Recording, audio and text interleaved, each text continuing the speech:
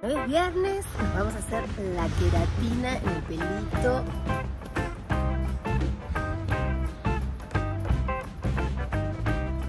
Queratina es para que quede un poquito más lazo, con menos frizz.